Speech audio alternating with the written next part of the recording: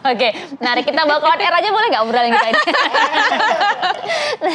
Jadi gitu, uh, kalau misalnya kita lihat Mas, karena kan kemarin uh, Mas Hasto sempat bilang tuh ya bahwa uh, paling tidak ada peluang lah untuk Anies Baswedan dan dan kita melihat hmm. uh, Mas Hasto ini sebagai representasi dari Bu Mega gitu. Tapi Betul. kemarin ujuk-ujuk gitu ya, eh. Bu Mega berbeda ya seperti itu gitu. Ya, mungkin Bu Mega sebenarnya apa yang disampaikan tidak ditujukan pada Anies, tapi pada masyarakat Indonesia, Maksudnya? pada kami-kami yang kader gitu. Atau jangan-jangan jangan ada suara berbeda lo jangan buru-buru gue deh, ya kan gitu ya. jangan nyuruh jangan ngatur-ngatur gitu ya. deh ya kan gitu. Bahwa Ibu artinya masih uh, berkontemplasi ya kan, dan Ibu masih terus memikirkan dan Ibu sangat serius kayak kalau memikir soal uh, mengusung calon uh, pilkada atau calon presiden dan lain-lain. Kita lihat sendiri PDI Perjuangan dianggap tanpa kulit uh, lambat dalam mengusung calon kader dan lain-lain uh, internal maupun non kader dan itu karena memang betul-betul kita pikirkan. Karena kita memikirkan bagaimana ke depan apakah bisa menjawab tantangan daerah tersebut problematika mas uh, masyarakat di sana dan lain-lain. Jadi sebenarnya itu aja lah. Sabar-sabar aja lah. jadi kan, kan? Mas Anies ya. itu rame itu rame dan menarik itu banget ya. iya. itu barang.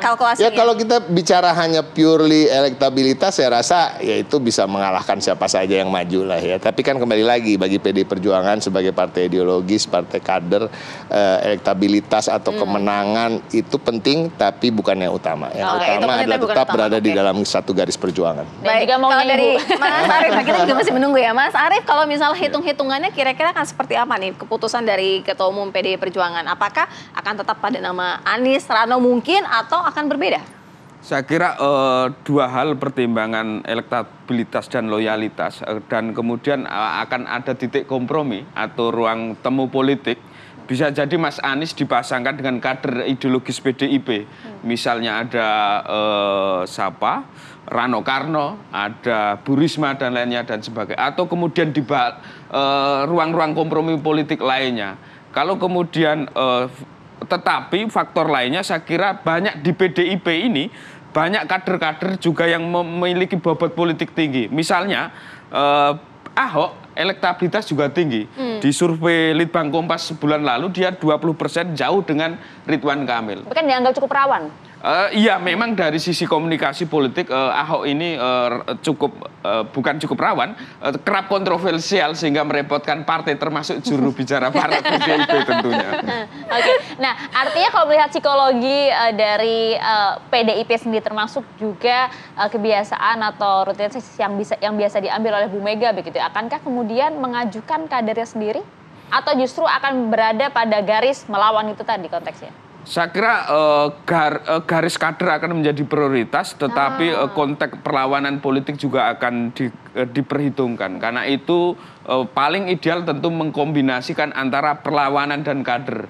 Iya, karena Baik. kalau mengusung Anies Baswedan kan PDIP bisa dianggap sebagai hero di selamat gitu ya, iya. ya kata. Huh. Itu juga menjadi pertimbangan. Saya kira iya di tengah uh, situasi saat ini misalnya uh, ketika partai lain uh, bergabung di koalisi besar 12 partai di koalisi Indonesia Maju Plus mengusung RK dan Suswono, ya. tentu Anies menjadi antitesa dari koalisi besar ini.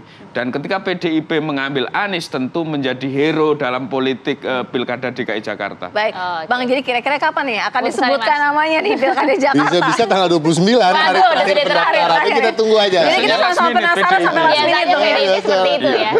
Oke, baik. Penasaran sampai last minute. Terima kasih Bang Ciko, Mas Arif, terima kasih. Sebelum kita akan mengakhiri jumpa kita di Apa Kabar Indonesia Pagi, terlebih kami menyapa rekan kami Andi Kumala yang akan membawakan program Kabar Utama Pagi. Mala, Ya, selamat pagi Sira dan Ayah. Untuk kabar utama pagi hari ini ada sejumlah informasi yang layak untuk disimak. Di antaranya adalah update terkait dengan seorang ibu yang juga penyandang disabilitas mengalami pembegalan di Surabaya, Jawa Timur.